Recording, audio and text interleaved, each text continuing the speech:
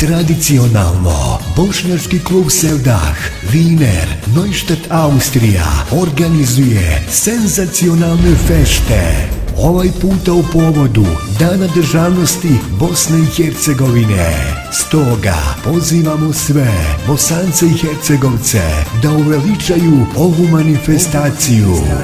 Druženje zakazano za 25. novembar od 19 sati. Z muziku uživo i goste noći. Hazre i Jasna. Djevojko, djevojko, djevojko kraj rijeke Ne tuguj, ne luduj, ostavi se plaća Jer tvoja je ljubav od sudbine jača ostavi se plaća Jer tvoja je ljubav od sudbine jača Ne tuguj, ne luduj Rezervacije 15 oera. Hazre Jasna uz orkestar Bauštelci.